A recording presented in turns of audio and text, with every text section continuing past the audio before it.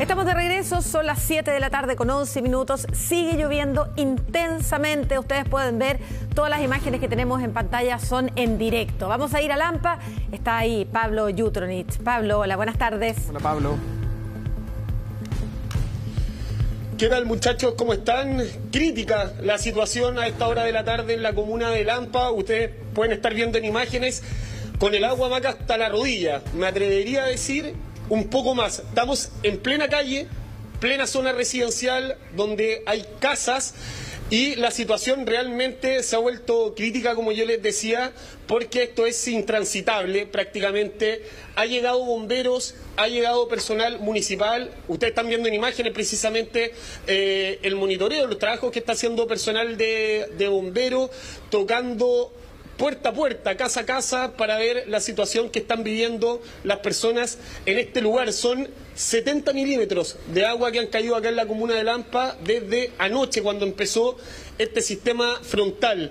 Un dato importante, muchachos, hace un rato, hace algunos minutos, Bombero tuvo que rescatar a una mujer que estaba en trabajo de parto que en la próxima hora va a dar a luz, nos comentaban, no podía salir de su casa por las condiciones que nosotros estamos dando a conocer y Bomberos eh, rescató precisamente a esta mujer, la llevó a un eh, recinto asistencial donde eh, ya se encuentra en ese lugar, pero así de crítica es la situación. Nosotros vamos a hablar ahora, en este momento, con la señora Viviana, que ustedes la están viendo en imágenes, que está conversando justamente con personal de bomberos para conocer la situación que se ha vivido, señora Viviana. Muchas gracias por estar con nosotros si nos puede explicar ¿Esta situación se vive de siempre? Eh, ¿Cómo es eh, esta situación en este sector? Bueno, eh, muy buenas tardes, buenas noches. Gracias por haber venido. Han venido toda la casa, les agradezco. Bueno, ha sido una de las casas más afectadas.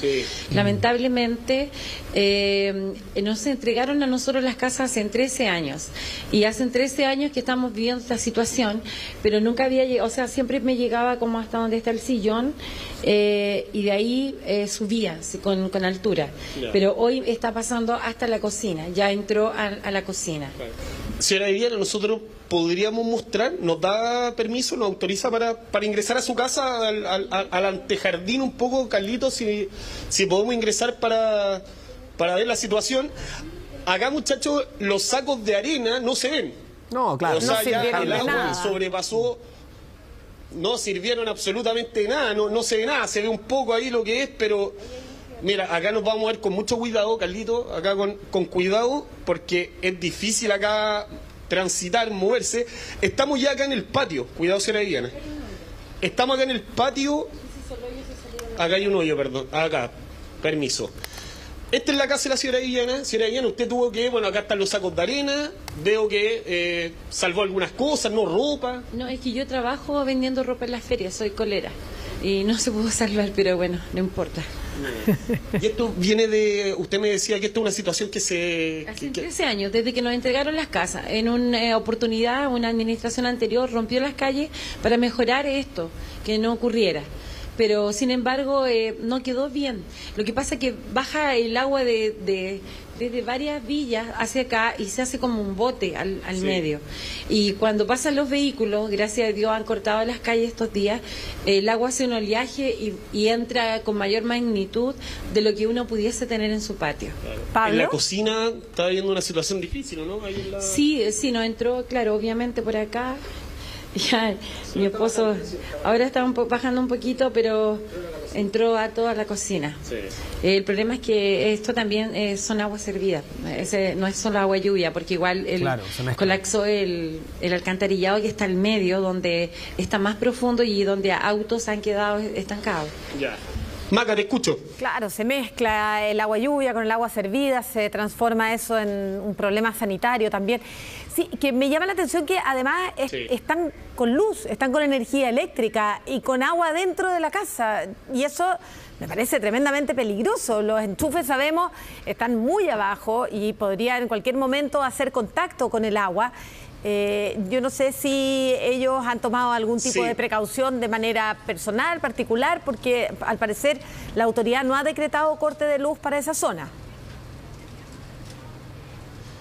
sepa que efectivamente hay luz. Ustedes están con luz. Vino bomberos, tengo entendido, por el tema de los enchufes, vino a revisar, eh, ¿no? Ese enchufe de allá, ellos dicen que es muy peligroso, eh, que lo van a venir a, desconectar porque igual va a llover toda la noche, entonces el agua va a seguir subiendo. Claro, es peligroso. Es peligroso, sí. Muchachos, mira, yo les, les, comentaba al principio del despacho, señora Viviana, si usted me, puede acompañar acá con mucho cuidado, obviamente. sí, que yo les decía al principio del despacho que, bueno, Bomberos hizo un rescate a una mujer, a su vecina, de hecho, señora Viviana, que está embarazada, que estaba con trabajo de parto. ¿Usted presenció cuando fue el rescate? ¿Se nos puede explicar un poco eso? Eh, sí, vino, vino también la televisión en ese momento. Eh, la vecina de la casa, de esta, la otra casa, es su, familiar directo. ¿Ya? A ella le podrían preguntar bien. Ella tenía un, parto, llamó toda la mañana, todo el día para que la pudieran venir a sacar. Estaba en el segundo piso, estaba como con taquicardia y lograron sacarla haciendo como un tipo de entre todos, haciendo un, tipo de, escalera humana para poder sacarla y subirla a la, ambulancia. Y yo espero que mi vecina esté bien y que salga todo eh, en perfectas condiciones de su parto. Y su familia hace poco salió y llevaban ropa para ir a bañarse y a cambiarse, porque también eh, es cierto que va a llegar el bebé, no lo pueden tener en la casa, porque ellos igual están mojados adentro. ¿Esta persona con, cuántas personas vive en la casa? La... vecina vive con su esposo, ellos son un matrimonio joven. Son un matrimonio joven. Sí, pero igual eh, no pueden traer el bebé en esas condiciones porque la humedad que hay adentro de la casa y fuera es bastante grande, entonces es peligroso que yo creo que van a irse a la, casa de sus padres mientras esto de alguna manera se mejore. Claro, es, impresionante esta, esta situación, muchachos. Le quiero agradecer, señora Viviana, su tiempo, su disposición de contarnos un poco lo que está pasando acá. Y eh, esto es muy parecido a lo que se vivió en Quilicura, en el sector Lo Cruzat, que hace un par de días también estuvimos allá en la otra lluvia, que la verdad que es muy difícil transitar por acá y el agua realmente llega hasta la rodilla y el problema es las casas, las casas que están acá, esta es una zona totalmente residencial, mm. se viene en más lluvia, una situación muy compleja que se está viviendo acá en la comuna de Lampa, muchachos. Sí, me preocupa la noche que van a pasar esos, esos vecinos, va a ser eh, difícil descansar, difícil dormir sabiendo que sigue cayendo el agua y que puede aumentar el, el nivel ahí de la inundación. Muchas gracias, Pablo. Te vamos a dejar nos vamos a trasladar de inmediato hasta el monte. Así es, vamos a tomar contacto con Carlos Greich. Hay un operativo de búsqueda en ese sector. Antes estabas en Talagante, dos lugares que además fueron llamados a evacuar. Carlos, volvemos contigo. Sí, ¿cómo están? Buenas noches. Efectivamente estamos en, las afueras del campamento Pedro Valdivia, en el monte, cruzando el río Mapocho, donde estábamos en el primer contacto. Hace instantes estábamos eh, viviendo momentos eh, dramáticos en este lugar, nos llamaron porque eh, habían niños que estaban extraviados al interior del campamento. Estoy con el comandante de bomberos del monte, el segundo comandante Jorge Saba, quien nos comenta un operativo que acaba de terminar porque afortunadamente fue exitoso, están los niños sanos y salvos, pero hubo que reavisar toda la zona en torno a este campamento. ¿Cómo está, comandante? Buenas noches. Bueno, muy buenas noches. Sí, efectivamente, durante la, durante la tarde, por la alerta SAE que cayó desde, la, desde el gobierno, eh, hicimos una evacuación preventiva ya por la, por la crecida del río Mapocho, la cual traía mucho, mucho caudal. Eh, estos niños eh, efectivamente salieron y ahora nuevamente nos llamaron que estaban aislados en, un brazo de un río lo, cual eh, rápidamente los pudimos sacar con, con la ayuda de los funcionarios de la PDI y concluimos así un rescate exitoso eh, sin poner en peligro el personal de bomberos y el, personal de salud de los niños. ¿Y los niños están eh, bien, en buenas condiciones de salud? Sí, eh, están en buen estado de, salud, lo cual ahora los funcionarios de PDI lo van a trasladar a un centro asistencial para poder hacerlo para una revisión previa y descartar algún, algún, algún tema de salud. ¿No han sido identificados todavía los familiares con quienes podían estar? No, llegamos al, a donde estaban aislados, los, los cuatro se, se señalaron como hermanos. Y lo cual no encontraban con, con algún adulto en, su interior. Carlos. Hay uno, uno de los cuatro hermanos es, mayor, ¿no? ¿Es el que se comunicó con ustedes? Sí, efectivamente él fue el que, dio la voz de alarma que se encontraban aislados. Eh, un adolescente aproximadamente 15 años y los demás, los otros tres, son niños de, de 3 a 10 años.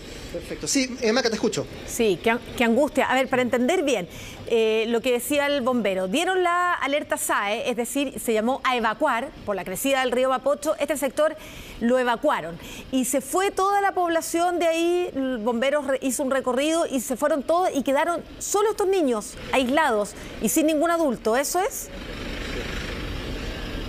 Exactamente, eso es lo que me comenta acá el, segundo comandante Saba, que una vez que la evacuación eh, concluyó, afortunadamente con todas las personas que iban saliendo, eh, estos niños quedaron aislados en, una especie de islote cuando el río ya había crecido, ¿no? Así, efectivamente, eh, durante la tarde, como reitero, hubo un, operativo masivo de, desalojo con personal de, de carabineros, con personal de bomberos, lo cual se concluyó exitosamente pero así, lamentablemente, esta gente volvió a entrar durante la tarde, tarde-noche, y lo cual ahora con la crecida del río quedaron aislados. ¿Todavía hay gente al interior del campamento? ¿Usted ha podido ver? Eh, hay algunos, una gente de ciudad haitiana, la cual no hubo caso de salir, y ahora que volvimos nuevamente al campamento, vimos que estaban al, interior nuevamente del campamento. ¿Los niños rescatados son chilenos? Sí, los niños son de nacionalidad chilena, lo cual aún no pudimos de, eh, interiorizar de su familia Claro, eso está en desarrollo, Maca, sí. Ah, sí, justamente eso te iba a preguntar. Ya, entendimos. Los evacuaron a todos, volvieron, regresaron, pensando que ya había pasado la emergencia, volvió a crecer y quedaron aislados. Eh, los papás de los niños, dijo, parece el bombero que no han tenido contacto con los familiares, no se sabe nada de los papás de ellos. No, aparentemente no. El mayor de los cuatro hermanos es el que se contacta con eh, bomberos que llegan rápidamente acá y comienzan este operativo de rescate, pero todavía no se sabe eh, nada de los eh, familiares, de los adultos que pueden estar a cargo de estos niños que son los que quedaron aislados y, rescatados hace instante nomás acá en la comuna de, del Monte. En todo caso, actuó bien el hermano mayor, salvó, salvó a sus hermanos con solo 15 años. Eh, supo qué hacer, supo a quién llamar y rescató ahí a sus hermanitos que habían quedado todos aislados y expuestos a la crecida del río. Gracias, Carlos. Siete de la tarde con...